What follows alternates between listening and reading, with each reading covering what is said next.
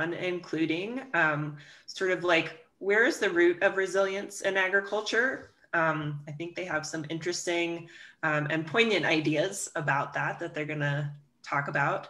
Um, uh, maybe I'm going to pause there. Carrie, are there any uh, opening words that you want to say before we uh, turn the camera over to Jovan and Matthew? Yeah, just briefly. I don't want to take up their time. Um, Carrie Balkcom with the American Grass Fed Association. And um, Matthew and Jovan and my paths crossed in 2012, 2010, somewhere in there. So it's been quite some time.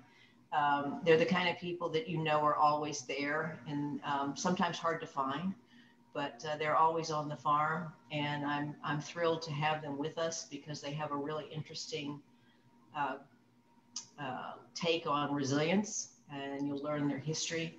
And Matthew and I both have a very strong opinion about the phrase feeding the world. And so I'm going to let them talk and then let you talk to them because I think that you'll enjoy what they have to say. So, Matthew and, and Jovan, thank you. And uh, their bios are interesting. Google them sometime.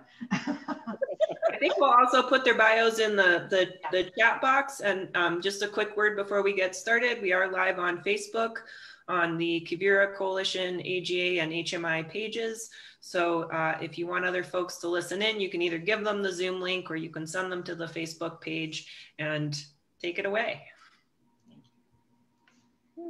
Awesome. Thank you. Thank you so very much for for welcoming us into this space. Um, my name is uh, Jovan Sage, um, and I am Oh, folks would call me a Renaissance woman. Um, uh, my grounding is is in the land. And is in healing. Um, I actively work as a as an herbalist, as a wellness coach, birth worker.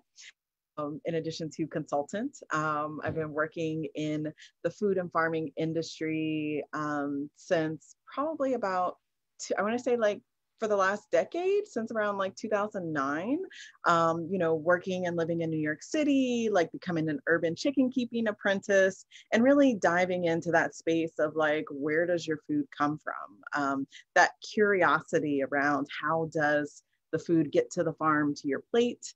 Um, and how do you make it taste good has been um, a central focus um, of my work. Um, in addition to how can we um, break down the barriers um, to access to good food, um, to healthy food, to fresh food um, for, for all different kinds of, of communities. And so um, I'm always excited to continue to dive into this work and to extend that work to conversations around seeds, around equity and inclusion. And um, my name is Matthew Raiford. Uh, I am a sixth generation farmer. Um, I my first career um, outside of being in the military for 10 years is I'm a chef. Um, and uh, so I call myself a chef farmer, a chef and farmer with one F. Um, so I have been back home on this family land um, since 2010, 2011. Um, however, I was raised um, on this family land also, and this land's been our family since 1874. Um, like I said, I'm the sixth generation, and my children are the seventh who have planted, harvested, and eaten from a crop off of this land. Um, and I'm very, very excited about um, being here today and being able to talk about um, resilience and what um, resilience can look like um, in the terms of resilience that can show up each and every day, and how, uh, as a collective, um, we can start talking more about resilience and how we can uh, stay connected um, no matter what. Mm-hmm. Mm-hmm. Yeah.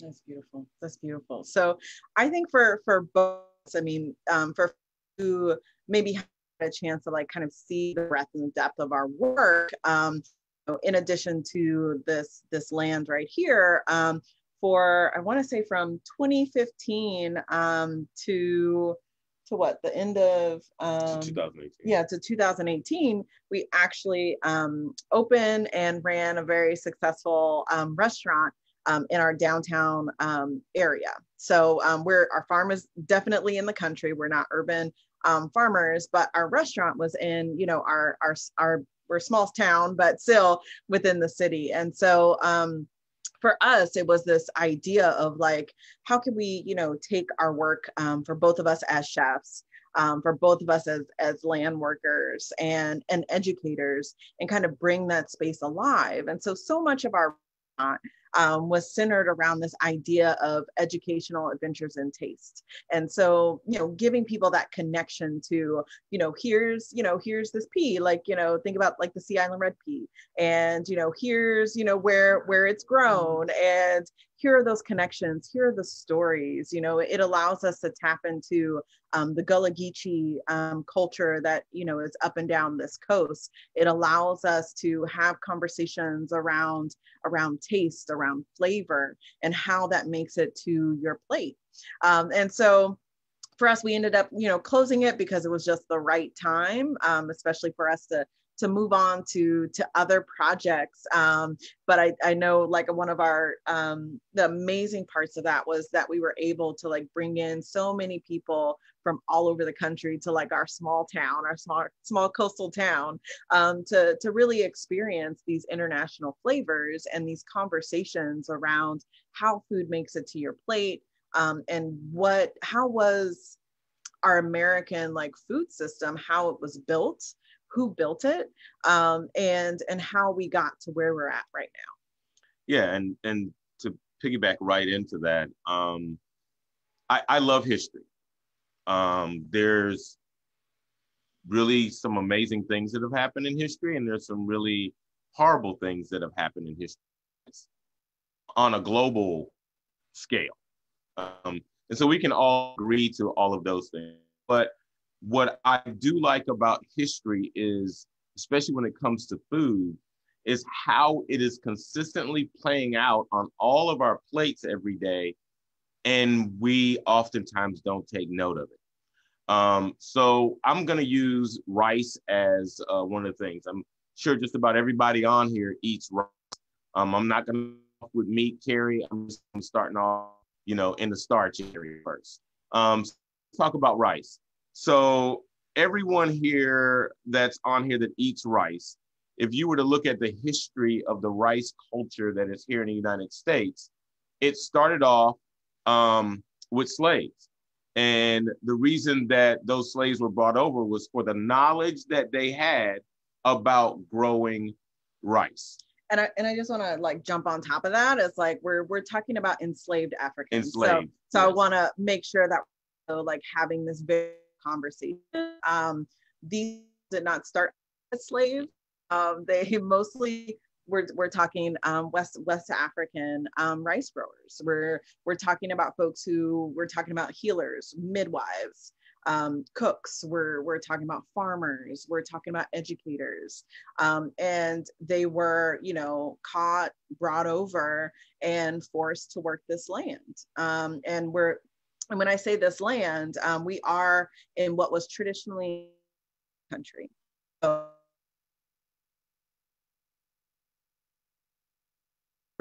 Coast, um, and you know, and the Carolinas. Um, these these these landscapes were were carved by enslaved Africans. They were brought over for their their their farming skills. They were brought over for their technology and how they did their own rice growing. And so I think that's one of the things that we always want to make sure that we center within it. Um, it wasn't by accident. Uh, it was it was specific. It was very um, you know systematic the way in which it was done. Yes, and and so the the reason that I'm bringing them up, our pups are barking, so we have to give them a treat. Um, but one of the reasons that I brought up rice is because everybody can connect to it. One, um, if you start understanding where and how our agricultural system has been built um, here in the United States, it allows us a chance to a ground ourselves as individuals and ground ourselves as a collective to be able to have broader discussions. And so part of that resilience is also seeds that were brought over. Okay. So we've got planters, we got seeds, and now, if we play it forward to where we are today, we have to think about what, no matter what city you're in, everybody wants to have the best Southern restaurant around. And that food that's on that plate is often enslaved people's food.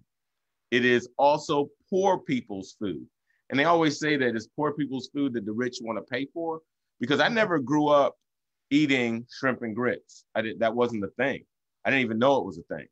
Um, and now people are selling it for $32 a plate. And for me, I'm like, well, the shrimp are right out there, you know? And so uh that that's something that that I, I want us to like also pay attention to when we're talking about resilience. And I know everyone's trying to figure out, well, okay, we're talking about seeds, we're talking about this. Where does that come into resilience? The resilience comes into saving the seeds. The resilience comes into taking the knowledge that we have now and also giving just due to the people that actually brought that knowledge and or those amazing things. Mm-hmm. The other reason I bring because where we are in coastal Georgia, we're part of the original 13 colonies.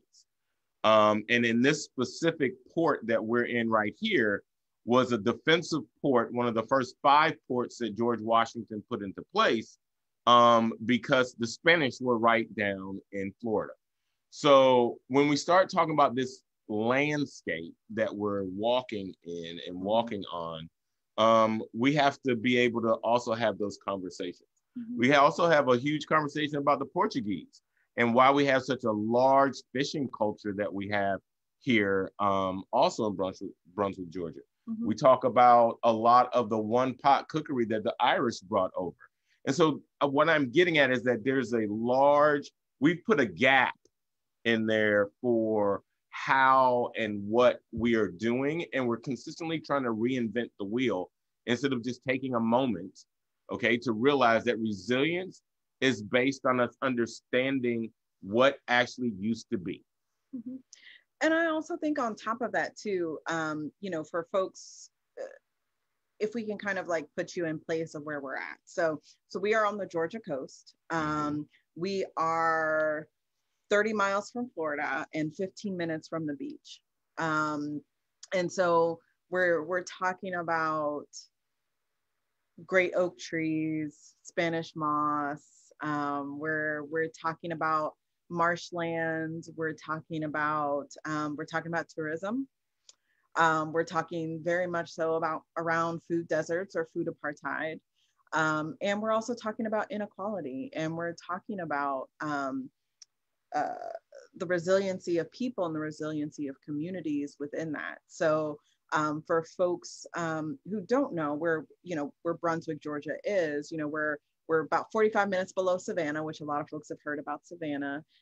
And we're also our farm, so 10 minutes away from where Ahmaud Arbery was, was murdered in February. Um, so we're talking about the Deep South.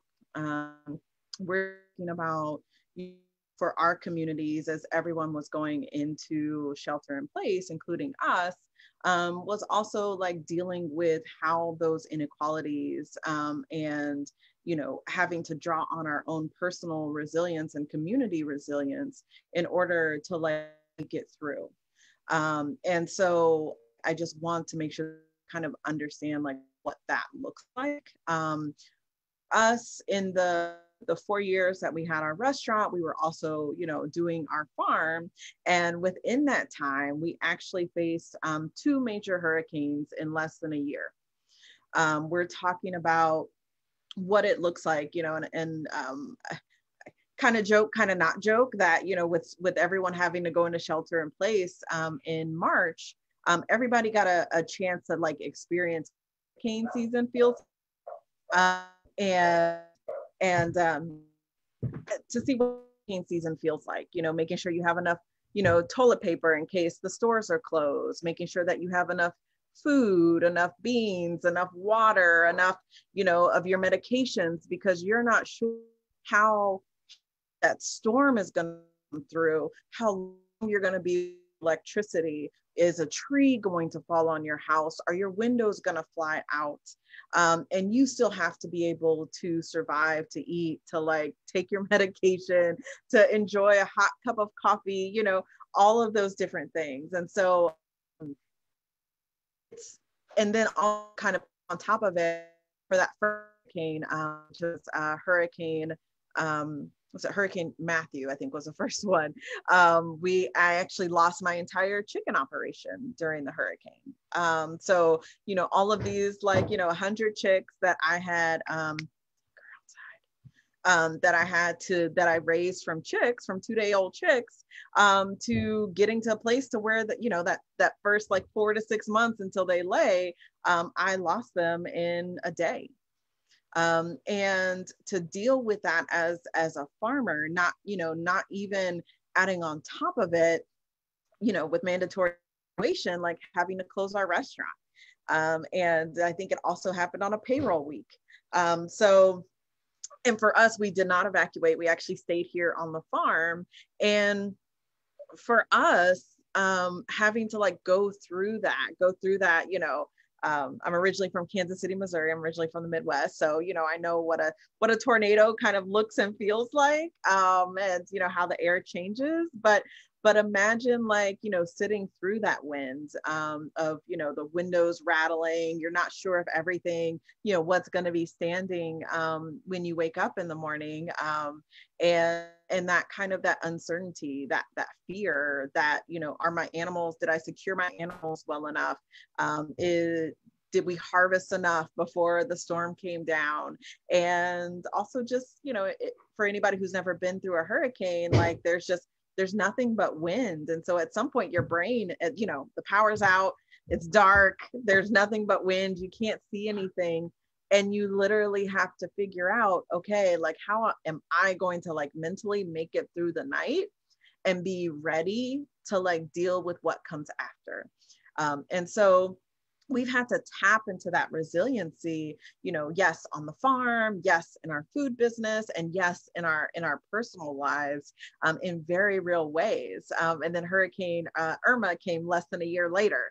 Um, so it's like wash rinse repeat. Um, in in that way of like you know um, do you do you start over again do you you know pick back up that that chicken operation which we ended up not picking up the the chicken operation for at least another like three three years three years, three years. yeah, yeah. three years to get back because it was a lot it was it meant the infrastructure was gone and then just you know the um and, and the and, trauma of having right, to like having to bury that, your yeah. animals and or or can't find them or, like i don't know if jovan told you it was 125 chickens yeah. ducks and guinea hens yeah that's a lot of animals and, and just and I raised all of them. Right. And then it just all disappeared, right? And so it's also like how do you how do you then not only get your head back in the game, but also imagine this. When Hurricane Irma came, we had just started getting the soil back right for us to get back into the thing again, right? We're about ready to plant fall crops again. Mm-hmm. And boom, it was like, oh God. Well, this time we lost the plastic, the the the four mil plastic off of our high tunnel. And when I say we lost it, I mean like it's nowhere. Like we drove to other people's farms, figuring that it like blew up in the air and probably fell down somewhere within almost a 20 mile radius. We even put out a thing like, hey, anybody seen this? And it, it's it's gone. I don't know where it went. It just disappeared. And so now what do I do? Okay, so now I've lost the year before I lost like all these animals. This year now I've lost a high tunnel, which I was we were already talking about the crops that we were going to plant that fall in there so that we could have hothouse tomatoes and some other things, and it was gone. So now when you talk about resilience, it's like, well, do I stay in this game? Do I keep playing this game? Because right now it feels like I'm losing, I'm losing, I'm losing. And then you're also like looking at each other like, okay, we can't, you know, it's hard to be a rock. Like when one person's going through something, it's easy to be a rock for the other, or it should. You should be a rock for the other person. It's it's easier. It's easier. Not easy. Not easy, right? easier. But now we're both in this thing of like, okay, well, that's happened. And then the very next year, the restaurant. So it was a lot of like, how do you bounce back from those kinds of mm-hmm. things? And so when when I look at it, I look at one of the things that Jovan brought up to me about being resilient. And one of the things that we consistently say to each other, and that she's been able to like say, is have you centered yourself for the day? Mm-hmm. Not for the week, not for the month. Have you centered yourself for the day? Because we don't know what's going to happen every day. This this this uh this global pandemic has shown us that we have no freaking clue what's going to happen from day to day. Like I just came across someone yesterday that you know they have been socially distancing at work. Not everybody goes into work at the same time. And now one person is asymptomatic, and boom, everybody in a whole office is now running, grabbing their test, and sheltering in place. Well, not quarantine now, right? So, like, they, they didn't wake up that morning thinking about that. But imagine if you just center yourself for a moment every day to know that guess what? Anything could possibly happen. Something's gonna happen. Not every day is gonna be roses and all those kinds of things to just get yourself in a place right. to move a little bit. Well, and I think that this is, um, you know, because you know I do I do work in the seed world and the the food and farming advocacy world as well. And I think as we're having conversations around sustainability, regenerative ag, like all of these different things, I think that the the ultimately the thing that comes it, it comes down to is that farmers also need to center themselves farmers, ranchers, gardeners, seed keepers, land stewards, like you need to center yourselves like in your plan. Like, are you finding ways to be regenerative in your own life? Are you finding ways to mm-hmm. ground yourself? Are you yep. finding ways to, you know, yes, acknowledge, you know, the trauma of, you know, losing you know parts of your farm or crop failing or any of these things and then find ways to like you know work forward and heal from that. Um, is same way in which we you know when you're thinking about you know when you test your soil and you're trying to figure out okay what are the amendments that i need to add? What are the things that i need to do to like make this like give life? Um, you have to think about that for yourself as well. Um, and that too often we get caught in that cycle. Um, and, I, and I feel like, you know, for, for the folks who are farmers on here, like your life looks very much so like the restaurant tours as well, to where you're like pouring so much into this work. Um, the margins are thin, um, patience is thin, and you know, you don't clock out. You know, you're you're doing this work. Um, continuously and and every day there's still work to do. There's never kind of like a boop boop there's a period and i'm done. Definitely, definitely. but but it's a lot and so if you don't like center yourself your health your wellness um your your joy um into that work um are you really being a successful farmer um, and and i think that that's one of the things that i see time and time again that like farmers um, are taking themselves to the brink um, and beyond. And guess what? You wouldn't you wouldn't do that with your horse. You wouldn't do that with your chickens. You wouldn't do that with your soil. So why would you do that with yourself?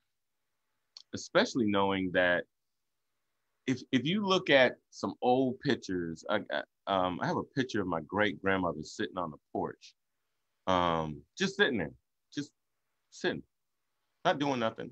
She's just sitting there. Wasn't even expecting probably me to even take that picture, but I, I want everybody to kind of think of a farmer sitting in a rocking chair whittling. You know, that's their that's their relaxation. That's their unwind and for us to really be resilient, we really have to tune into taking our care of ourselves, taking care of ourselves first, right? Because I literally believe that food security is national security. And if we aren't taking care of ourselves, there's no way the food is going to be able to do what it needs to do. You know, everybody talks about energy and planting by the moon and being biodynamic all those things are real things. Like that's not some, you know, fakey stuff that's just floating out there. Like we literally do plant the potatoes by, you know, a certain time in March. Beware the Ides of March is what we always also say because we here possibly could have a freeze after it just been 75 degrees. So we have to pay attention to all of these different things. And we also have to write it down. So here's something I'm gonna talk about about being resilient. The only reason that Jovan and I are able to farm this land like we're able to farm is because my great grandmother and grandmother wrote to each other about what was being planted and what was being harvested. Okay. Not typed it into a computer and had these great crop plan logs. That's not what I'm talking about. I'm talking about simple notes, really small things that's handwritten. Mm-hmm. Because if ever this magical system of Zoom falls out of the sky, what do we have? We have nothing. And so we have to be able to have some things that are written down. Those letters allow me to know literally from like 1938, I think is like the oldest one I have, of when to plant peanuts, when to plant peas, mm-hmm. um, when rabbit season is coming for, for hunting, when deer season is coming, like all those things. And to date, it hasn't failed me. It just hasn't. And that's also about being resilient is uh, writing things down and also the soil, the legacy is in the soil. And you have to dive in and pay attention to everything that you're doing with the soil so that as it's coming back, as it's regenerating, as as all of that fungi and mycorrhizal, as all that stuff is alive in there, that we're keeping it alive. You know, that's generations and generations and generations and generations, thousands of years is that soil. And the old saying is God ain't making no more land. he ain't making no more land.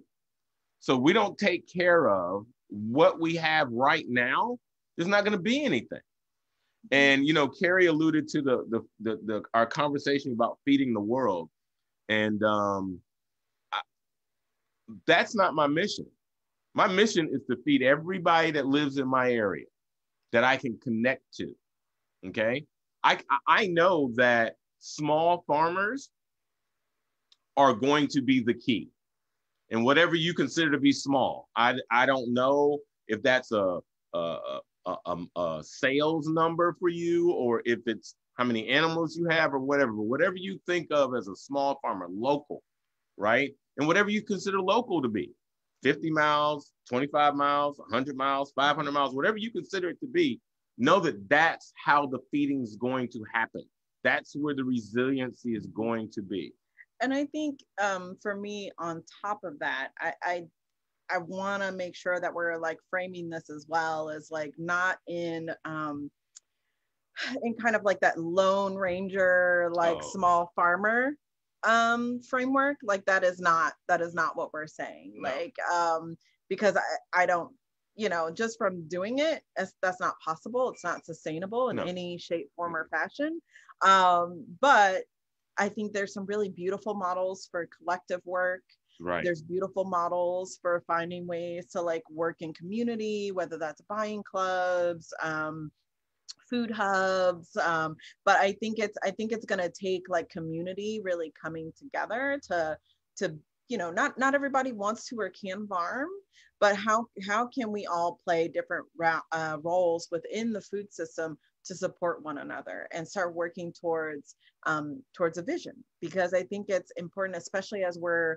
we're grappling um, with the, you know, for us, increased hurricane seasons. I think this year was like in the last like what 30 to 50 years was the most active hurricane season. yeah. Um, I think they ran out of the alphabet. Yeah, yeah. You know they, they had, to, they, had to fall, they had to fall back. Um, and so so I think it's like understanding understanding that you're not going to be able to do it alone, nor should you be doing it alone. Mm-hmm. Um, that there's you need to be able to create um, a network, and and yes, I love these these global like sessions um, that where we can have conversations with people all over the world. But do you know the farmer that's like up the road from you?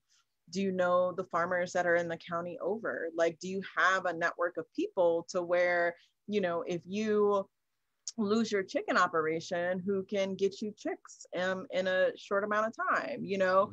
Mm-hmm. um, do you have people who can help you you know yeah do tractor work or to like help you plan out um, or all of those things. Like it's so that that idea of like the lone you know farmer who is like in there and is like you know feeding the world like that's false. That that never existed um, and it never especially never existed here in the united states where our agriculture was built on the backs of enslaved africans. Um, so for us to like start to have like very real conversations around the work and the support system and the vision and the opportunities um, to start thinking differently about the way in which we're working the land, um, to think differently about how we feed people like in our region, like to start thinking more so around like regional food systems and taking into account um, culture equity, inclusion, Definitely. all of these different things, Definitely. and really creating a system that is that is responsive to like what's happening in the world. Um, I know for us here on the coast, um, you know, when uh, shelter in place or you know, quarantine, whatever you want to call it, you know, was was coming down um, for us, and it came down in mid March, um, right before St. Patrick's Day. Um, people were reaching out to us. They were just like they were afraid, like that food was running out, that they weren't going to be able to eat, that what are we going to do? And for us we also have el- we have elders. We have folks who who have like um you know uh, underlying conditions. And so we were like well we don't want all these people on our farm. You right. know like don't just come out to our farm right now. Well one don't come out to a farm even on a good day. We're, we're working. Right. Um but but also like just understanding that we we needed to make sure that we could protect our elders and our community. And so our community um one of our organizations, um, Way Green, which usually does an in-person farmers market once a month at the beginning of the month, um, we were all able to come together and we pivoted um, and we did online ordering and then we created, you know, a distribution model that allowed for socially distancing and we had a drop pickup location, pickup location socially distanced um, at the top of our farm, you know, at the top of the road. And we also had, you know, one in the county over. And so we were able to like work together as a community. Mm-hmm. Um, like I was making hand sanitizer for everybody, you know, somebody else donated masks and gloves. And so we were able to really come together to like feed our community when people were afraid that they weren't going to have enough food to eat. Um, and that's not something that I could have did with somebody in California. Right. Um, maybe we could have had a beautiful conversation about it. But like when we're talking about supply the supply lines that were disrupted distribution that was disrupted the empty shelves like you know when are lysol wipes going to come back in stock again? Like right. you know just being really honest. Toilet paper it's gone for was, months. was like how do we create a, a system that allows like our farmers to be able to respond um, in a in a quick manner and that only really works that kind of coordination only really works when you're in community. Um, and so again that lone farmer isn't the answer. Like community like based work that supports farmers is is key to to moving forward. Yeah and and you know i i, I definitely have to comment on the the way green model in itself. Mm-hmm. like literally um connie oliver was able to say she called all the farmers that were in the farmers market. I, I want to build a picture out for you so that you understand yeah. how this, you know, how it how it happened. And and and I think this is the crux of what we want to talk about, which was mm-hmm. like how do you build community and build resilience? Boom. Yeah. So basically, Connie reached out to everybody and said, "Hey, I don't have a clue of what's happening with food right now. Like we went to our grocery store and there's nothing there. And the running joke became, well, I guess we're gonna have to figure out how to feed our community, like literally in those terms. Because what Jovan's saying about people just showing up on our farm going, y'all got eggs? There's no eggs at the grocery store. I was like, what? No eggs at the grocery store? That's crazy. That's bonkers, right? Someone who's hoarding eggs. Is that a thing? Um, and so it was paramount that we connected um 30 that that we connected with all of the farmers that we knew of and had a really good conversation about how can we all do this knowing that we can't have a farmers market anymore that literally went into them creating an online market where people could order like it was a grocery store, like a cart. Yeah. And then they could pick it up. Now, originally it was only in Waycross, which is about 30, 45 minutes from our Mhm. farm. Originally only in Waycross. In less than three weeks, it was in Waycross. Then we had one at our farm in Brunswick, Georgia. And then they had one in Blackshear, which is another 30 minutes away. Then they had another one that they pushed all the way to Jesup. They literally created a food distribution system that was based upon an online thing in about a 50 mile radius of all these farmers. And what I what what I will say to that, and actually two hours because folks came as far away as Tifton. Yeah. Um, what I will say to that is that that was about all of these farmers being in community with each other. So they didn't just go to the farmers market, put up their little booth, and bounce. Like this, we're talking farmers that were more like family.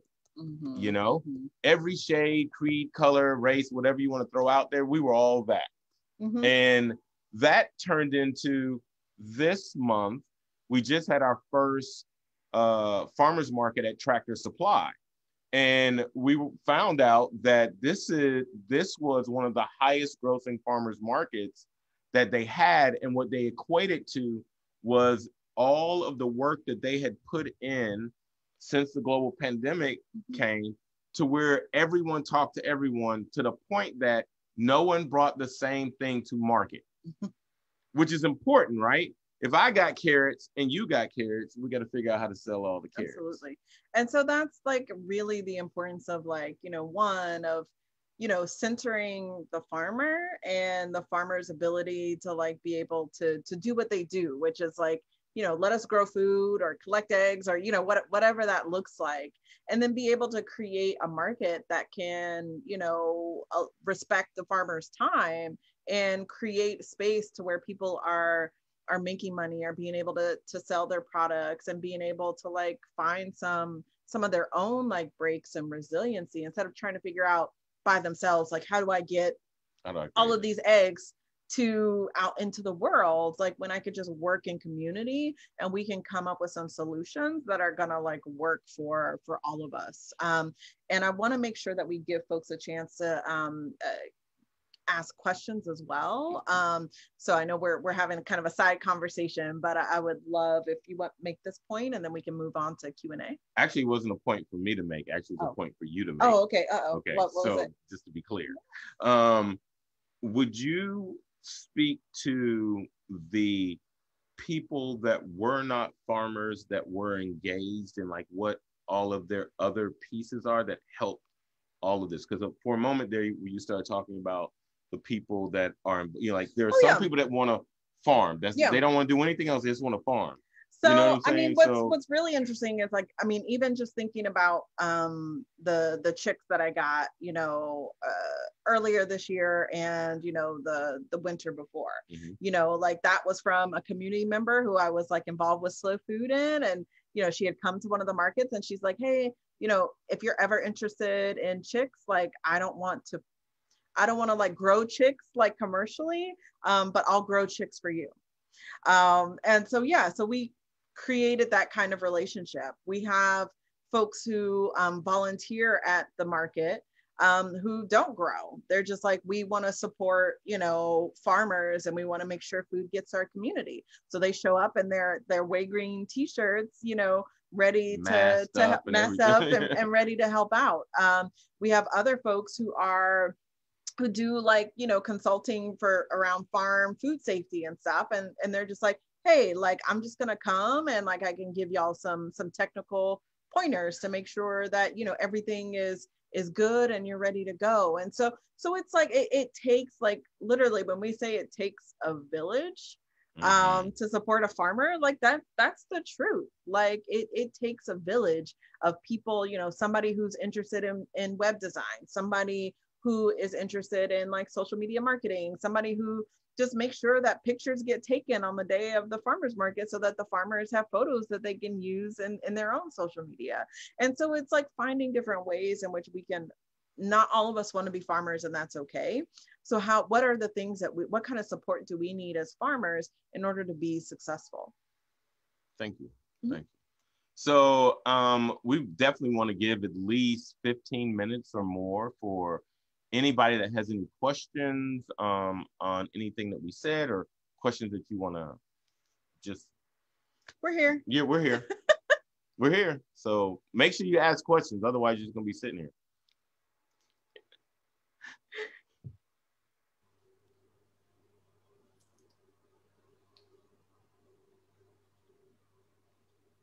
Okay, so how do we both take care of ourselves?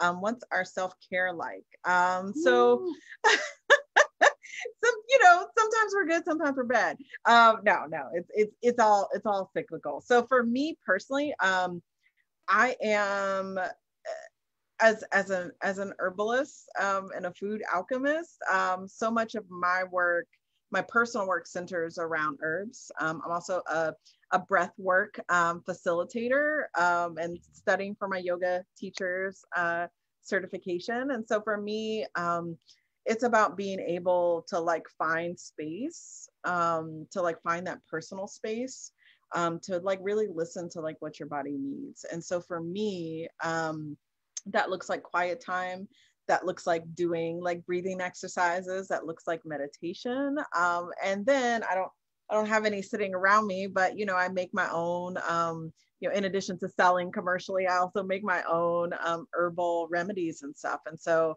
um, so i live like in that space of flower essences and and tinctures. Yeah. Well i i follow her lead so she, whatever she says um, is what i'm trying to do. Um, we do have another question, and it is how do you measure the regeneration on your farm, like soil health, for example? Do you think it's important for farmers to take this step to get land health certification? So here's here's what I'm gonna say. When I said it starts with the soil, even your animals, it starts with the soil. And part of it is it's not about you know i i hear people talking about you know leaving land fallow and uh taking stuff off i i i really believe that if we give back to nature what nature gives us like by composting um and using whatever methods you like to compost static red wigglers african night crawlers black soldier flies whatever it might happen to be we give back to nature what nature gives us we will be able to regenerate the soil on a constant basis. So to give you an idea, we're on what's called a silty sandy loam. Um, and so we always get people like, oh, your soil sure is acidic. Well, guess what? There are things that I don't grow here because of the way the soil is. And I'm okay with that. Um, and I think that that's a big thing. Like I run into farmers all the time that like, yeah, I really want to grow, but my soil ain't. And I'm like, uh, because everybody wants it. Uh, okay, well, grow the things that you can grow, mm-hmm. you know? And if you don't grow those things, know that also the soil will never be able to regenerate itself mm-hmm. because you're not giving nature what it needs. Mm-hmm. And what's needed here may not be needed in Oregon. What's needed in Oregon might not be needed in New Mexico what's happening in New Mexico might not be needed in New York. Mm-hmm. So I think it's it's understanding yeah. like where you are. And it's and it's I think part of it is like working with the land and not against and not the against land. It. Absolutely. Um, and so I think that that's something that's um, that's really important. Like we have um, this amazing um, seed keeper, um, Sarah Ross, who who works at uh, UGA. Amazing and so in addition to working at UGA and working on their historic farm, which is one of the first farms like in this area, um, she also has a seed company that's all about creating um, seeds um, that families can use to grow grow their own food and making sure that it's like relevant to this area. So you know, not all the seeds grown wherever are going to be able to grow well in your soil. So how can we create, in addition to a regional, you know, food system, a regional seed system? Um, because you know I'm the seed nerd, so the reds, a regional seed uh, system that will allow us to like um, keep and exchange like seeds that are that work with our climate, that work with our soil in very good ways. And so instead of like trying to force you know, this is Matthew's favorite example, force a Chioggia beet uh, Yeah. and said maybe we're growing tillage radishes, you know, like maybe there's some other ways in which we can like work with that um, and do that in a way that's going to be responsive to the land instead of trying to force the land to be something that that it's not. Um, and on the the other part of the question, I just want to touch on this for um, certifications like that. I think that um, you know, it's funny because there are things that I love to get certifications in, and there's other things where I'm like, you know, kind of take it or leave it. Um, you're going to have to figure out for your farm, for your market, for your budget, and what's possible as far as like your market and being able to make money on which certifications you want to go for. Um, I think that that's just um, a reality um, with, especially with you know folks like Walmart getting into the organics um, business, um, is that you're not going to be able to charge the same that you you would have depending on your community. And we are in a very on a um, yes there's a lot of like money because there's a lot of tourism but like that stratification is like there's a lot of poverty. If it wasn't for that tourism we would be considered like a very very, A poor, very, very poor, um, area. And so people aren't willing to pay the price that we would charge if we were um, to be certified this, certified that, certified this. Um, and so we still use those practices or better because we're also using indigenous farming practices. Um, but we we're not going to, you know, basically pay for certifications that we're not going to be able to like at least break even on. So it's it's also you have to think about the business side of it. Do the certifications actually help your business make money? Um, or are you always like in the red because you're trying to keep up with the certifications and you don't have the market to actually pay for that yeah So uh, just I'm gonna piggyback on that one other thing, and then I want Jovan to make sure that she takes this Yeah. this very next question. So the land has been in my family since 1874. No chemicals have ever been used, ever. So how do I figure out that? And I'm using my particular case. That's why Jovan said, "Hey, everybody has to figure out their own." How do I figure out what certifications I should get when the USDA didn't even friggin' exist when this farming was being done on this here land. And this land has been in my family, not land that I bought from somebody else like five years ago. so technically we're grandfathered in So technically, we should be grandfathered in. Absolutely. Give me a high five on that. yes, we should be grandfathered in. But there, but people are still going, oh, why aren't you certified in that? Why aren't you? So it's also figuring out where things fall in. So our original thought was any certifications that we get fall under marketing. Yeah. If we can't pay for it out of our marketing budget, then we don't get certified in. Because guess what? If I'm using indigenous practices and the land's been around and we've been farming it for so long, Well, and part of it too, for folks who don't understand um, how how this worked, is that um, uh, Black folks, African Americans, were actually cut out of the of the um, the fertilizer game in so many ways. Like you know, all the chemicals and everything else. Like it was it was very and seeds. it was yeah seeds too so it was very specific so even if we wanted to use chemicals on this land we did not have the access to do so so that and that's why when we say like why should we pay for organic certification when we there's never been chemicals on this land because we did not have access to those chemicals. So um and continue to use you know those those indigenous afro-indigenous like farming practices. So so i just want like so folks can kind of understand, Understand, right. like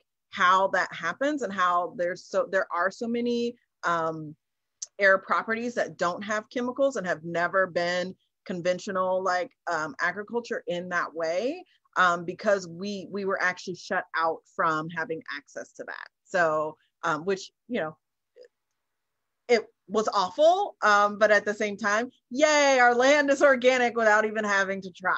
Uh, Right.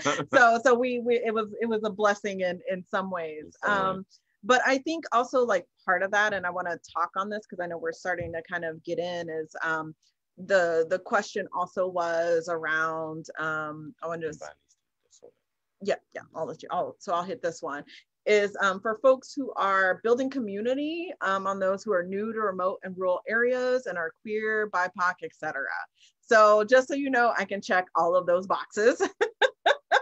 My background is actually in lgbt organizing um, before long before i got into like the food and farming world. Um, and so for me i and and also just so you know i lived in new york city brooklyn new york before moving down to brunswick georgia. So just that's why i'm letting her because she can explain that. it, it's and also you know it's kind of the if anybody's ever gone to to to to Maine and like you know understand that difference from you know being a Mainer or being from away, um, you kind of understand like I am from away, um, and so in so many ways here, um, and so part of it was like you know one as far as like building communities, I think it's one is like finding out the different people that you can connect with. So really kind of like survey your community. And yes you should definitely reach out to your immediate neighbors especially if they have like things like you know cows hogs like all of those kinds of things and just getting to know them first. Um, you're going to figure out like um, if you are you know queer trans you're going to figure out how safe you feel coming out um, but I, I always like when i'm in those instances is like getting to know people first um, and just you know kind of like getting to one of the things here in the deep south that we understand is that you know if you do go up onto somebody's property you know and you go to their door you knock on the door you step off the front porch and wait for somebody to answer um, and so being you know respectful to to your elders and you know there's lots of like yes sirs like no ma'ams like all of those kinds of things that's very much so a south thing. Um, and so getting to really know your community um, getting involved with different organizations because um, you never know who you're going to come across. Um, i think it's always important especially in those is to also see if there are educational institutions in the area because normally they'll have um, like more resources that they'll have access to in different communities um, and especially because we are we do have a huge like um, the, the in this area because there is tourism and a lot of people from like atlanta and other places have second homes here um, there's also like there's a season also of like more um, open openness within this community as well and so for me it was all about like making connections and talking to people and then you know going out from there. Um, it can be intimidating especially as a, a woman with locks um, to come down to to the deep south in this way and to also be in a rural area. Um, but i find that i've been able to just i'm able to be open um, and to have conversations and to build that trust um, and also to find out if other people are were you know are trustworthy as well um, and yeah. so you'll you'll start to find community um, in that way it's but it's it can be slow i mean it can it's not a it's not a fast it's not a fast process, it's not a fast process at yeah. all to build trust um, in in rural um, communities but that, i think that's where those organizations come up way green like different farmers organizations like food mm-hmm. organizations and being able to join um, here also there's a huge um, com- uh, faith communities um, so if you are a person of faith, um, that's a really great way to like get engaged and get involved and kind of figure out, you know, is there like a, a youth faith, you know, more of a, there's usually churches that are more geared towards like youth and in that area. And sometimes those are more open than those that maybe have been, you know, that the church that's been there for the last 150 years. But, you know, it's, it's open and it's loose. So you just have to find ways to have conversations around that and I think that goes into also um, there's another comment on there like I love hearing about your experience with networks of sharing and co-op organizing. What are major obstacles to build out um, or rebuilding more infrastructure from sharing farming equipment? And when you have human connection with your customers, they know what you have. This is absolutely true. One of the things that we have to make sure of is that we are always, always, always talking to people saying that closed mouths do not get fed. And I believe that in my heart of hearts that if you don't step up and have conversations with people and talk to people and open your mouth, you won't know what's going on. You won't, you'll always presume that blah, blah, blah doesn't like me. You, have you ever said anything to them? Have you ever said hello? Like it, it's amazing what happens when you say hello to somebody. It's amazing what happens when you show up to events and want to know who the people are and not just like, oh, I, I need to get, I need to sell all my carrots this week. And nothing against anybody that sells carrots either. Okay, that's like my second time using carrot as an example. Um, but uh, I, I, I just want everyone to be cognizant of this is how you build a co-op, how you build uh, community is all about you. You have to also be willing to put in the work. Mm-hmm. You have to put in the work. You have to open your mouth. You have to have conversation. Mm-hmm. Um, and you also have to be okay with not being right. Be okay with being wrong about things. be okay with knowing that you don't know what your ass just don't know. Be okay with it. And guess what'll happen? The whole world will start opening up to you. I guarantee you, if you took today, say, you know what? I need to start thinking like I don't know what I don't know. I guarantee you, you're gonna start learning a whole bunch of stuff. People are gonna open up to you because guess what? They're like, oh, not a know-it-all, not an egomaniac, not a, you know, let's let's let's cut some of those things out so that we can build the trust mm-hmm. and trust is actually going to be the final key yeah. um for all of that yeah. And i just want to touch on i'm going to kind of pull in some of these questions like together as well as like um for us like working in community is, is something that's important. I think that um for for us i mean that's part of part of the reason why we wanted to do the restaurant too because our restaurant wasn't just a restaurant. It was a, a multi-use culinary space. And so we taught cooking classes and we did special dinners in addition to, you know, doing Sunday brunch and all of those kind of fun things. And so, so for us, like being in community um, and understanding the challenges of being in a rural community, that the restaurant like gave us a space um, to be able to like extend that and create a much larger community than we would you know sitting on our on our farm with just our heads down and so so for us like that educational um and eating piece was was was key um, to us being able to tap into community in that way. Um, working with organizations like Way Green or with our Slow Food Coastal Georgia or Les Dames like for us, um, working in community and with community groups has been key. And I think for all of those, I've probably been a president or something at some point.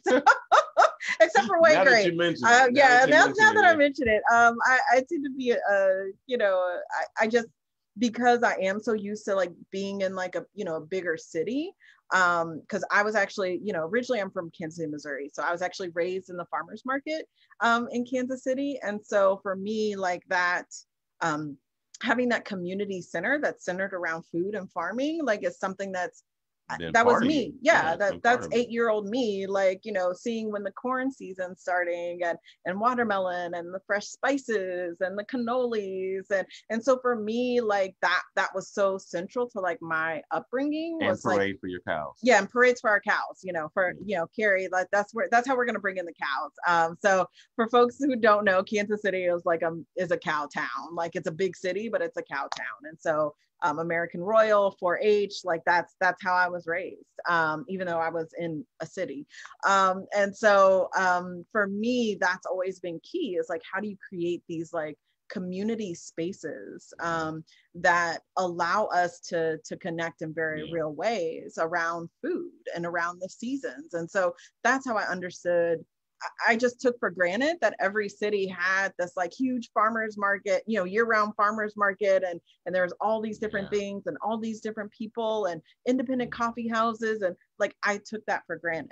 Um, that that was just how it was. You learned how to raise pigs and chickens, and that that was that was the world. Um, and, and then it, you went to New York. And then I went to New York, and I was like, no, that's actually not what you know what what everybody has and then travel you know i've done a lot of organizing around the country and so you know seeing that that's not what everybody has is really is really fascinating um and, and sad you know like I, I think we've tried for a long time here to like also find ways to build more of that that kind of third space here um and so our restaurant became that space um our farm, you know, before COVID was becoming that space as well. Um, so like being a way to like also step up into what you feel may be voids in your community. Um, I I think that you know, and this is touching on another question that was in there is like listening to your community is important and also kind of balancing that with like what you like to do um, as as a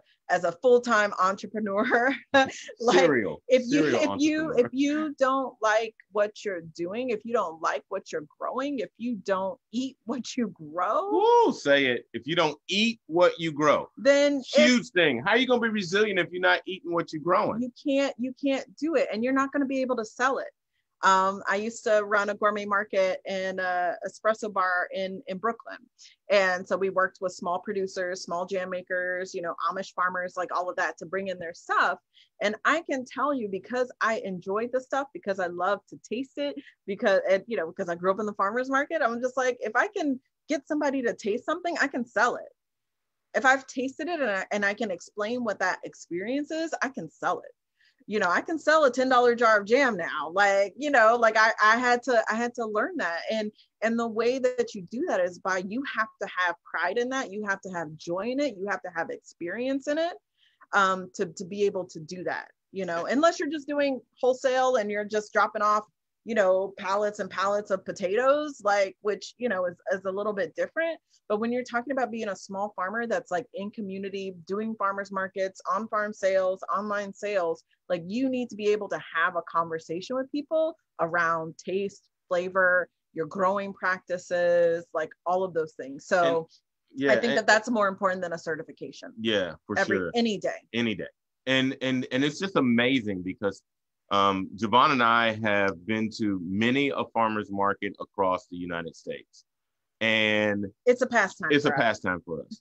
And oftentimes we go in and we we ask the exact same questions of every farmer.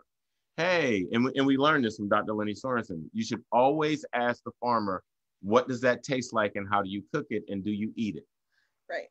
Because if they can't tell you how to cook it, that means they can't tell anybody else how to cook it. So people walking up, they're looking at it. Well, that's why you got a pile of it. You got a pile of radishes there because you can't tell anybody about what it tastes like.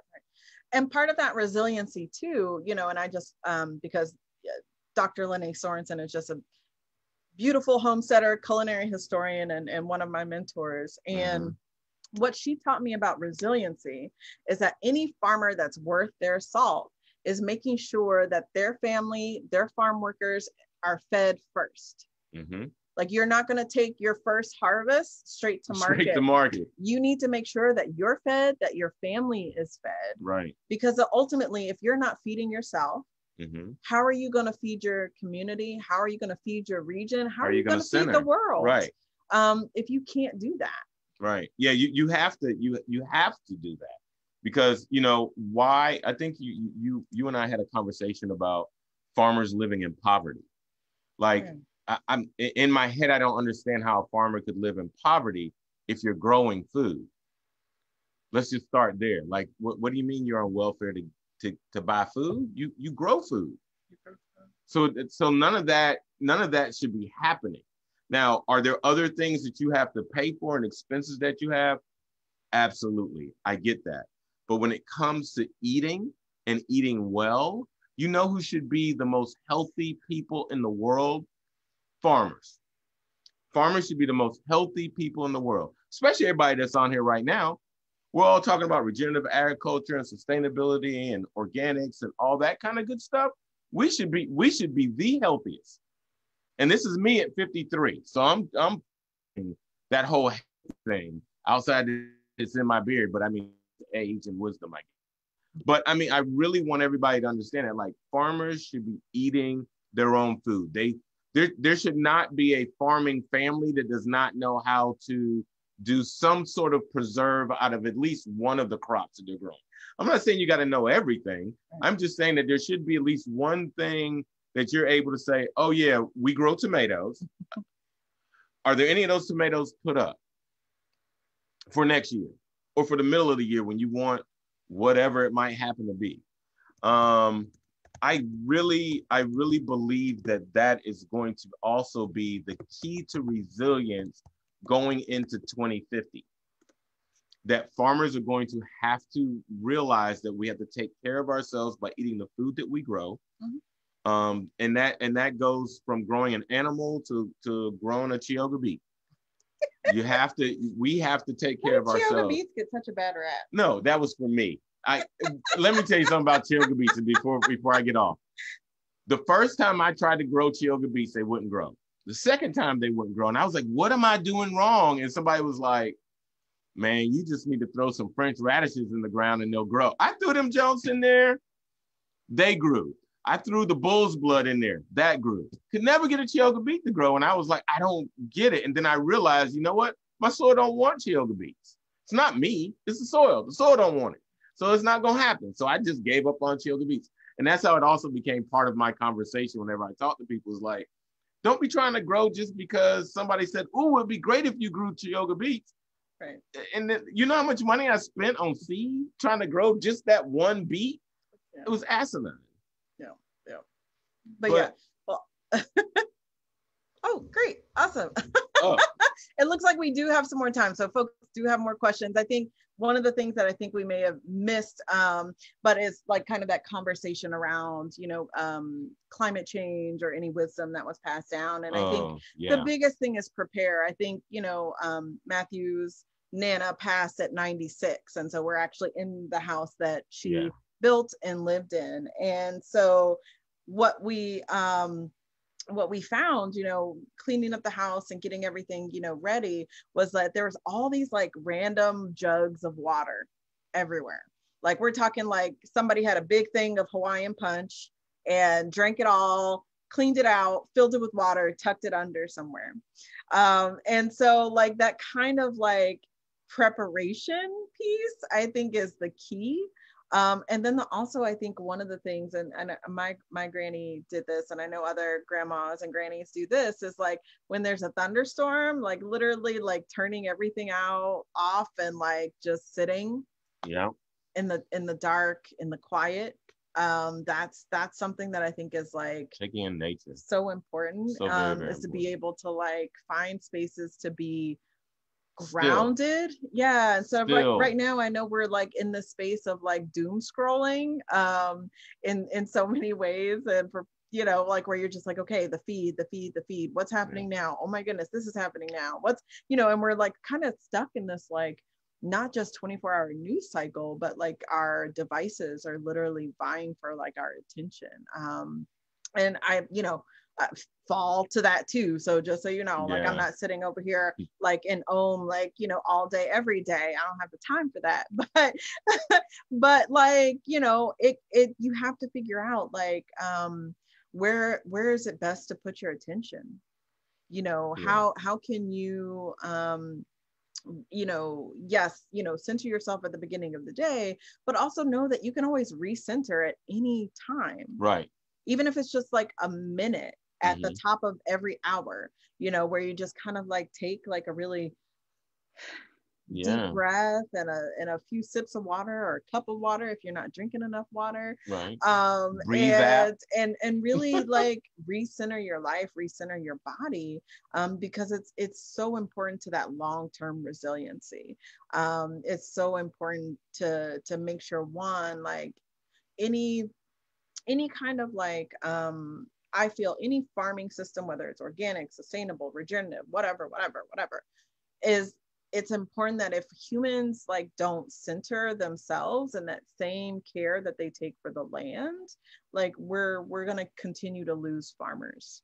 We're going to Mhm. lose them to burnout. We're going to lose them to you know like their their their their main job that actually pays their bills you know like and and people are going to be stretched. And i think that this year um this you know covid year has been a year of of clarifying a year of people being stretched to the brink of of finding different ways to heal of finding different ways to to take those deep breaths like you know have you like when do you find yourself like you know like one of the things that i always tell people is like you know just kind of like Yeah, you know, like, yeah.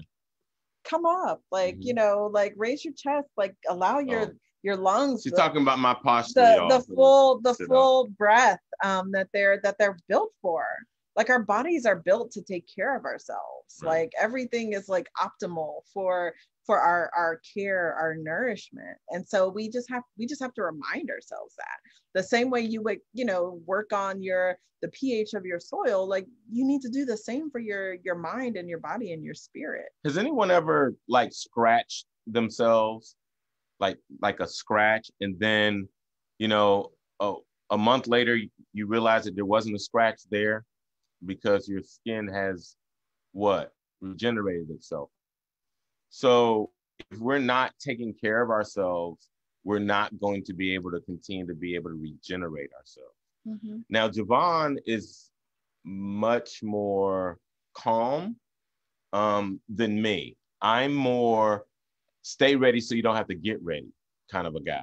Um, I have a go bag pack. We, have uh, since I we've been together. Have a go bag. Well, yeah, but I mean, always, I packed it. I'm, I'm a prepper light. Yeah, I'm not pre- a full. Yeah. I'm not. Yeah, she's a prepper light. I'm, I'm prepper. I'm I'm a prepper heavy. Like I I know I can still carry a 50 or 75 pound rucksack like I was in the military. So that's about how much my rucksack weighs. Like I I know that I do not want to ever be caught, for lack of better words, with my pants down. Like I really want to make sure that I am ready to go. And and and let me let me let me couch this for you. That's not necessarily ready to leave the farm right? That's like making sure you have water catchment systems in place right? So that you're collecting water as it's raining to make sure that the livestock can con- continue to drink even if you have a power outage okay? Because that power outage usually comes with some sort of storm right which means that some water has fallen from the sky so catch it right um, stay ready so you don't have to get ready. What crops are you growing that your animals can also eat? Are you growing anything that your animals can eat? Um, I, you know, Carrie's like, yeah, we're we're grass farmers.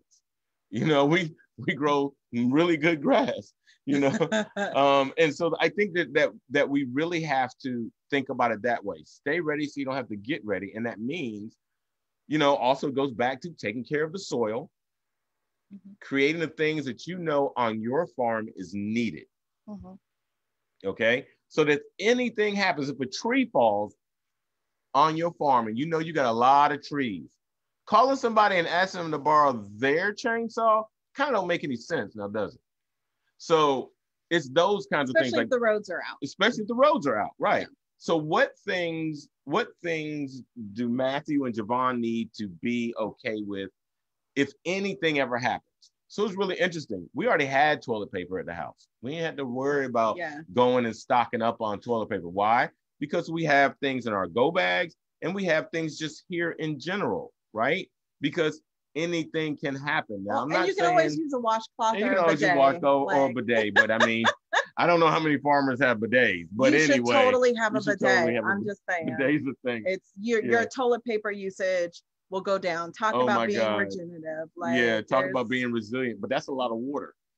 No, it's actually we can we can go into we it. can go into it later. But just just so you know, there's there's ways in which you can do that. And I think for me, you know, when I lived in New York, I, they considered me prepper heavy, but here I'm I'm prepper light. Yeah. but but part of that too is like also making sure, like for me as as an herbalist and as a as a healer, like yes i have like my my alcohol and you know like all of those other like regular things you would have in your first aid kit but also have an herbal um, mm-hmm. component to that first aid kit so i've got my calendula and comfrey salve i've got a stress um, glycerite i've got you know stuff for high blood pressure. I've got you know like i always make sure um, that in addition to like that you know kind of like nuts and bolts of a first aid but there's also herbal things. There's tea for calm. There's you know um, poultices that are that are ready to go for for wounds. And so so for me like that's like part of it. And then for mm-hmm. folks who are maybe more on the more you know kind of energetic level i also have flower essences that i work with as well. And so so there's always there's so many different levels in which we can you know really start to um to work on ourselves. And when i say like mind body and spirit i mean that um mm-hmm. and i don't mean religion. I just mean like how are you taking care of yourself? Um how are you tapping into like the the resiliency that is already within you um, yeah. and i think that that's something that's key you know I, when i'm working with because um, I am a birth worker. So when I'm working with um, clients as as a doula, um, you know, I have this the same conversation. Like, you know, this this resiliency, this empowerment already exists within you. Mm-hmm. How can we tap into that? How can we remind ourselves of that? And I think that that's something that um, you know, as as as farmers, um, as earth workers, as seed keepers, is something that we always need to keep in mind. Is that we we have it within us um, to to survive. We have it within us to thrive, um, and you know the goal should always be to thrive. You know, right. like I always say that yes, we can totally survive. Mm-hmm. Yes, we and we should and we will. We've we've got rounds, we've got toilet paper, we've got you know giant 20 pound bag of beans. You know, like we're we're gonna be good. Right. Um, but ultimately, you know, like uh, I and I think about this too is like you know if the power's out, how do you make coffee? Oh, like, I got that one. I got that one. Guess we, what? We got, we got, we got firewood. So we use the firewood. Oh, here's the other thing. We also have what 12 things of propane that we have here. And I always have emergency. well, and you know, because I was in the coffee world, like I know how to do a pour over, which, you know, seems fancy, but it's really like old school. You know, like you got your gas, you know, you put your kettle on and you just pour, you know, yeah. have your French press, you know. So when you're thinking about like that resiliency, you're also thinking about what what makes me feel happy and you know coffee makes me feel happy um, especially that that that first light um, after a hurricane and all the power is out and you're not sure if it's going to be a few days or a few weeks um, to just be able to like sit on the porch and like drink a nice hot cup of coffee is like everything. And and trust for, me. and for me it's a snickers bar and some skittles. I want to taste the rainbow Trust me, I want to taste the rainbow. Like, I mean, you got to have the thing that you need, something that you want. What sparks I, joy? So what sparks your joy, right? And so Skittles sparks my joy, you know? It's a sugar rush for sure. For me, it's and Reese's I'm, Pieces. Right. And for you, it's Reese's Pieces. Yeah. So it's like finding those things. And, and guess what? When you throw that little thing inside your bag and something's going on and you go, oh, it doesn't matter what just happened, right? You're you're eating well, your Snickers well, bar. And, and, and full body wipes. Yes. Full body wipes are a thing. They're at Target. They're not that expensive. You're good to go. Trust me on that. Trust me. And so a lot of this stuff that we're talking about about resilience, I really like how Jovan couched it towards just a second ago, where she says, you have to figure out what you, not what your next door neighbor, not what's happening around the corner. You got to start here. And I think that what you said about the resiliency is built within us mm-hmm. is very important for all of us on this call to not just understand, but share with people that aren't here.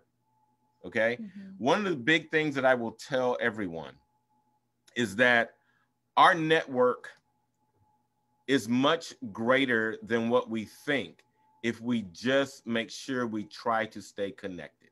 So I'm looking on here right now. There's about 46 people on here, right? Now, I don't know if these 46 people know each other, right? Or have ever met each other.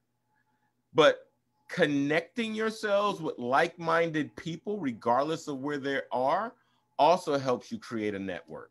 Because mm-hmm. it's really interesting when someone tells me, Oh, I'm looking for this, but you know, I know you ain't in Colorado, so you probably don't know anybody. And I'm like, Oh, no, I know a couple of people in Colorado. And they're like, Wait, what? You know people in Colorado? How do you know people in Colorado? I was like, Did you say you needed something or what?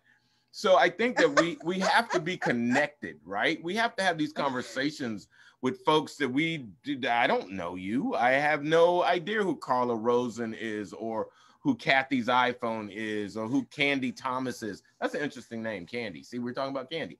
But I'm just saying, you know, like we we have to be able to connect with each other on on mm-hmm. for lack of better words, a cellular level as in cell phones. Well, um, and and I also think within that, so yes, we're you know we do have our own personal go bags and herbal emergency kits and emergency kits and backup kit, you know, like whatever. We, are country folks here. Um, but what's your fallback?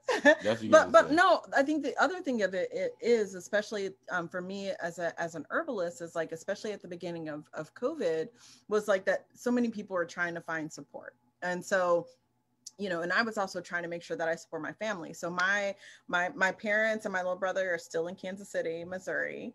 Um, my sisters live in atlanta. I'm here on the coast about five four five hours away from them and so i wanted to make sure that my people were okay so i the reason i started making hand sanitizer was because my parents couldn't get it and my mom had just had um, surgery yeah. for breast mm-hmm. cancer mm-hmm. and was actually while we were all going into to shelter in place she was going to do um, radiation therapy every day yeah um and so and my dad's a truck driver for fedex right, right. so he he was definitely essential um mm-hmm. staff and so i wanted to make sure that my people were were protected and so i just started making stuff to one make sure that we were taken care of make sure that we could send stuff to to matthew's kids in atlanta to make sure that i could send stuff to my mom and dad and my sisters mm-hmm. and and so and, and also make sure that we had enough for people out here. So when we're when we're talking about like we're prep like prepping like it's not like for us it's not like there's a bag and it's just for us. It's like no i made sure that you know i got enough beans and rice and you know um, flour and sugar and and different you know like nut milks, nut, milk, nut milks instead of like, you know, I don't yeah. do a lot of dairy, but you know, nut milks because I knew if somebody needed something, I could have it. And so I bought in bulk specifically because we have, you know, Matthew's, you know, dad and, you know, um, his wife over here. We've got cousins over here. You know, we had folks shelter in place with us um, because they, they needed to get out of the, the city and they wanted to have a nice safe space with outdoor space to to join us. And so we had people joining us. And so we were like you know, yes, bring stuff with you, but know that we will also have stuff for you. Mm-hmm. And if somebody over there is like, we ran out of this, we knew that as leaders on this hill, as leaders in this community, that we wanted to make sure that we had enough to where we could also share that um, and make sure that our people were were taken care of. And then for us, and for me, especially as an herbalist, you know, I made sure that my families got their packages before I put anything for sale on my website. So, you know, I kind of take take first. that thing yeah. that Dr. Leni Sorensen like instilled in me was that make sure that you're taking care of yourself and your mm-hmm. people mm-hmm. before you put things on market. And so, yes, you know, I could have made, yeah, way more money by selling everything. Yeah. I wanted to make sure that my people were also covered and protected as well. So, so bringing that into my world was so important during that time. So. So we have time for like one more question. Um, does anyone have something that's just burning? Whether and it could come from you, Carrie, or Sarah, or anybody, any anything we didn't cover that you wanted us to cover? the only Matthew, the only thing, of course, it, it's something that's near and dear to my heart, as you know, is and you brought up the thing about cooking, and so many people are afraid of cooking, and it's it's uh, it's something that we need to get over the fear of. Let it's okay to not have your food look like it came out yeah. the French Laundry menu. Right. Yeah. I I I. oh my goodness. So here now you want to talk about some interesting conversation we've had since COVID. You'd be surprised how many conversations we had we've had with people like I, I, I never made like tuna salad. And I was like, never made tuna salad before? Nah, but they had a lot of tuna in the store, so I went ahead and bought some. I, I was I was blown away. um, the the the thought process of um, also though is where people are trying to learn. And I think that um, one of the things that Jovan and I have looked into, and I think we'll probably start doing at some point, um, because there was a conversation there, and it was like, does Jovan teach herbalism classes? Um, and I, have had will, people I will ask be in about, the new year. yeah, yeah. people have asked about me doing the really short cooking classes because here's the deal. There are a lot of people that get married, they get all these amazing pots and pans and knives, and neither one of them have ever cooked before. They never know it because you know when you're in love and you're just going out eating all the time, it sounds great and it seems like a great life. But now neither one of you can cook. So now you're back to the eat out mode thing, but you got these really nice knives, pots, and pans. And then you feel that, well, I make enough money, but what happens when the money runs out? Like being able to cook is part of life skills. Um, and for for me, whenever I talk to young people, um, I always explain and have this conversation about if you are by yourself, how do you sustain yourself? And when I get them to looking at me like, well, there's ramen. And I was like, yeah, but ramen after about day seven. Get you a cast iron you know, skillet and an Instapot. And an Instapot. I'm I'm all about that life because I'm gonna tell you, cast iron, once it's seasoned well, you can cook anything in it, right? An Instapot, if you have some electricity, you can put a frozen chicken in that, have it ready in less than 30 minutes. So trust me when I say there are things there for you to learn how to cook. Jovan and I actually had this whole conversation about, you know, we should do a COVID 19 Instapot commercial that's just based on, by the way, just so everybody knows, we have six Instapots. Yeah, yeah, it's it's it's a problem. It's a problem. Um, but it's part of it, six. so part of how it happened is like, so for the first, the first hurricane, um, our ceiling fell in in our in our schoolhouse. So we didn't used to live here. We used to live in the historic schoolhouse that's on the property. Right. So we were displaced for six months, and the place that someone had for us didn't have a full kitchen. Right. And so our restaurant was already built on induction. So we brought an induction burner to mm-hmm. the house. And then I was just like, okay, I keep hearing about this Instant Pot. Like, let's let, try it out. Let me just try it out. I found a special, you know, got it, whatever, and fell in love. Like, if all you have is like one induction burner and an Instapot, pot, you can live and good. a sink and a fridge, you're good. You don't even need a sink. You just need well, water. You can figure it you out. Get a hose outside. But but that was literally so for us, like having to, you know, people who are cooks, chefs, mm-hmm. foodies. I'm a wellness coach. I help people meal prep and all that kind of good stuff. Um, is like in that space of just being like we need to eat food and we can't eat out all the time. Right. Like so that has featured prominently. And then you know that it's kind of like um, rabbits or cats. They just keep breeding and all of a sudden we have six of them. So, yeah and, so and then people, how that works. right and then people were doing this. They were like i heard you i saw that thing you did on uh on facebook uh with that instapot i got one and i don't know how to use it. Do you want it? Sure. Sure why not? I'll take a free Instapot any day.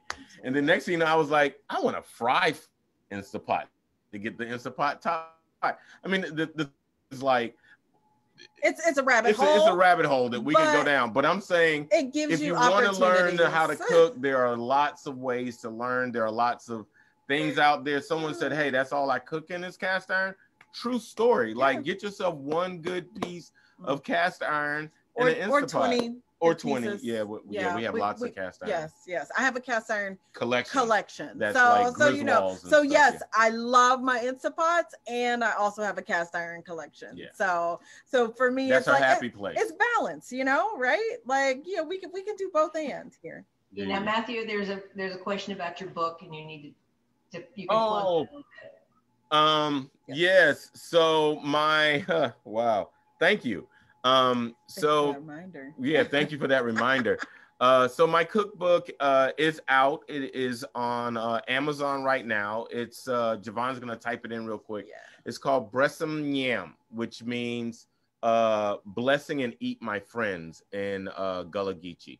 Um, and what it's based on is like my life uh, here at the farm. Uh, it's kind of like a, a how would I say it? Um, it's an ode to my my uh, family, and it's an ode to uh, life here um, on the farm. It's an ode to uh, to food systems and food ways, mm-hmm. um, and it's kind of like encapsulating uh, the 25 plus years I have um, in the industry um, and encapsulating it in you know things like fried mullet, mm-hmm. um, fried mullet roe. Which here's a very interesting fact: gray mullet in uh, in Italy uh, and uh, Greece is called Bottarga, and um, it's very expensive. But when I told people that I was in Italy and ate Bottarga, they were like, "What is that?" And I said, "It's mullet roe." As a kid, I grew up eating mullet, mullet roe. I never knew that it was a delicacy. Um, but oftentimes you got to go to other places. Um, yeah, yeah, it's uh, it's an amazing book. Um, I think uh, I think there's something in it for everyone. Um, lots of uh, funny anecdotes in there also um, about things like me making something called Magic Cobbler and the like. So, yeah. Um, what was that? That's available on Kindle. Yes, too. and it's also available on Kindle also. So um, all the pre-sales have already started, um, and uh, it will officially be out uh, May 2021. And um, any book that is done on pre-sales, I will also already have autographed. So um, go ahead and get that book. It's gonna be great. Um, yeah, Breast Yeah. Thank you so much. Um, I'm excited to get that book. Um, I'm going to wrap us up just so that folks can have a short break before our plenary this afternoon, which starts at noon Mountain Time. Uh, this is uh, going to be a really interesting conversation with um, folks talking about activating rural places. Um, this is a plenary that's organized by our New Agrarian Apprenticeship Program. So just a, a nod to that. Um, so before we sign off, Jovan and Matthew, thank you so, so much for joining us this afternoon. What a wonderful conversation. A lot of uh, really inspiring things that you touched on. And um, uh, I hope that you will join us again in the future, that um, your network has been expanded by uh, being here today. Um, really wonderful to learn about your work. Um, I have some other announcements. Carrie, are there any other thoughts, things that you want to say before we depart?